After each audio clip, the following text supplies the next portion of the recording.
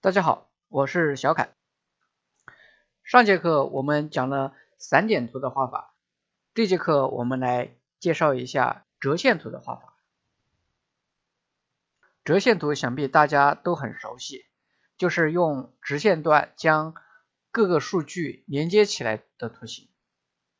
折线图最常用的地方就是用来观察数据随着时间的变化趋势，比如说像股票价格、像温度啊这些等等。我们来看几个例子，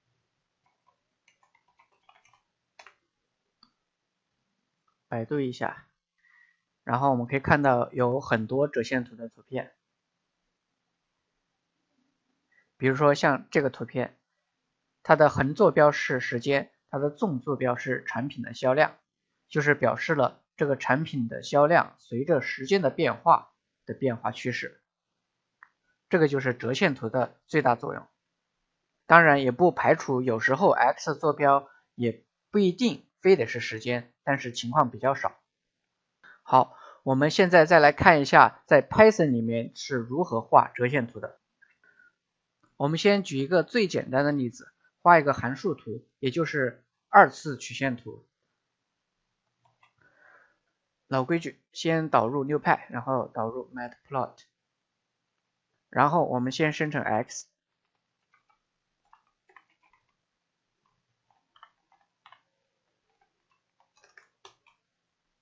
大家这里注意一下，这个 Nicebase 呢是 NumPy 里的一个函数，它是生成一组等区间的数值，在这里呢就是从负十开始到十，然后把它平均分成一百份，然后 y 等于 x 的平方，到这里我们 x 和 y 就生成出来了。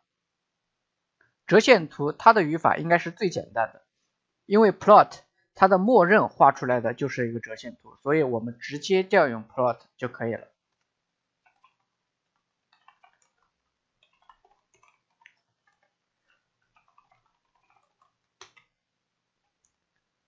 我们运行一下，好，这个就是我们画出来的一个函数的折线图。但是这里的折线看起来并不明显。比较光滑，因为我是取了一百份，所以说看不太出来它的折线的效果。然后我们这里把它的数字取小一点，我们可以更明显的看到它折线的效果。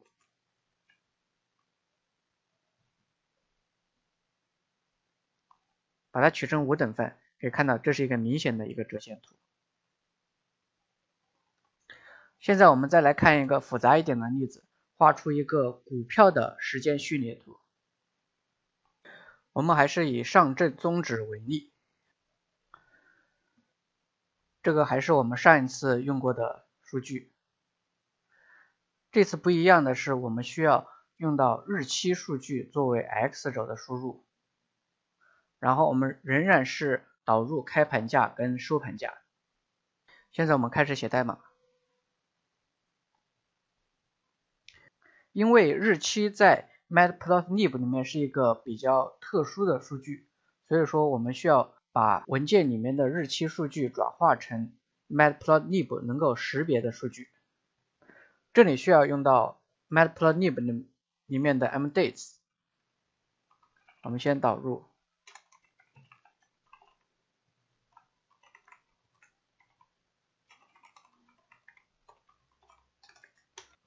现在我们导入数据。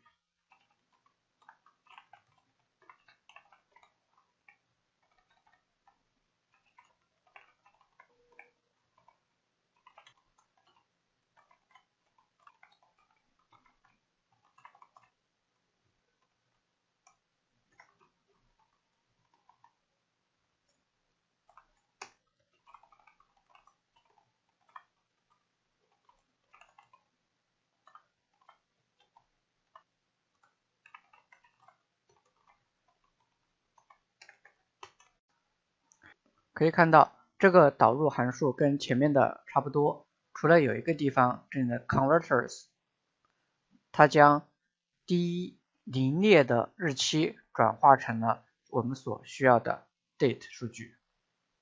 这里呢，我们其实是用的 dates 里面的 str 用的这个函数来进行的数据转化。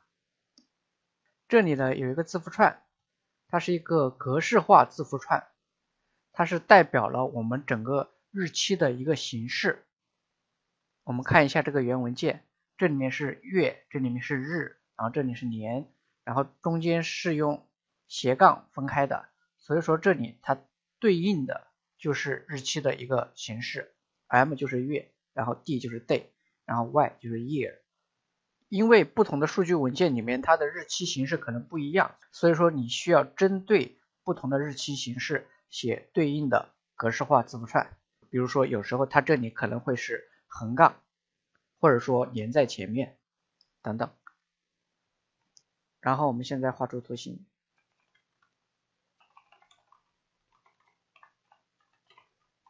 我们先画 date 和 open 的一个折线图，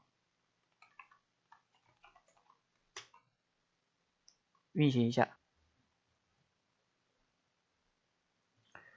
这里我们会发现它的 x 轴其实并不是一个日期形式的数据，这样的话其实并不符合我们的初衷。这是为什么呢？其实是因为通过这个转换函数把这个 date 转换成。matplotlib 能识别的数字，其实本质上是把 date 转换成了一个浮点数。我们这里可以看一下就知道了。运行一下，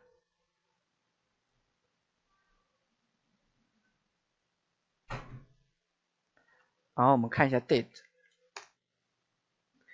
我们可以看到 date 它其实是一堆浮点数。这种用浮点数。来表示时间的方式，其实是计算机里面一种非常常用的方式。它的具体细节呢，在这里不细讲，大家有兴趣可以自己下去研究。那既然这样的话，就有一个问题啊，如果我想把 x 轴显示成时间的话，我怎么办呢？在这里呢，matplotlib 它提供了另一个函数。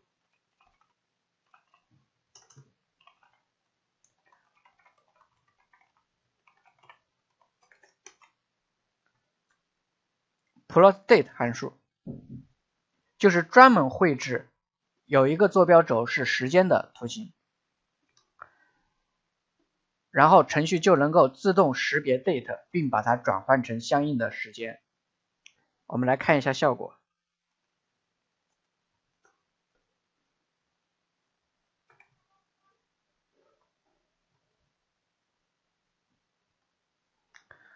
好。这个就是我们用 plotDate 画出的图形，大家可以看到 x 轴已经自动转换成了所需要的时间的形式。但是其实这里又有一个问题，大家可以发现它不再是折线图了，而是一堆点图。这个地方很奇怪啊，它在 Matplotlib 里面呢，它把 plotDate 的默认变成了一个画成了一个点图，而不是一个折线图。但是没关系，我们可以自己把它变成线图。我们只需要在参数里面加上它的线型，在这个里面它是用一个减号来代表线段。我们再运行一下，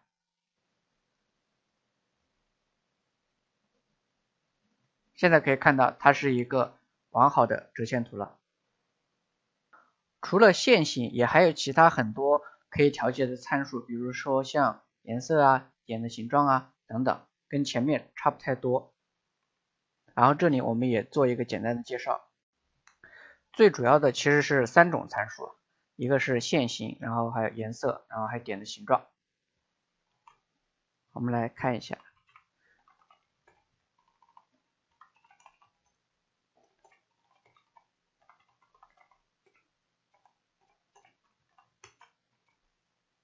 运行一下。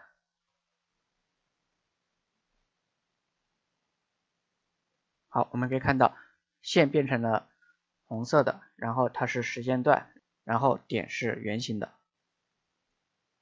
我们来更改一下，把它换成虚线，颜色换成绿色。点换成三角符号，运行一下。好，可以看到这个图形线变成了虚线，然后点是三角符号，然后整个是绿色的。当然，我们也可以在同一个图形上画两条折线图。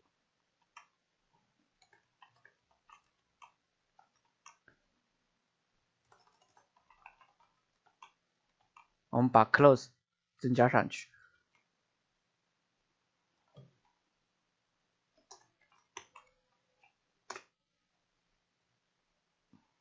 可以看到这个图形上就有两条折线图。今天的课程呢比较简单，相信大家很快就可以掌握。现在我们来看一下作业。第一个作业呢是画出 x 值为零到十的一个正弦函数图像。然后正弦函数呢，需要你自己去网上查找。然后第二个作业呢是画出上证指数的 open high low close 四个数据的折线图。今天的课程到这里就结束了，谢谢大家。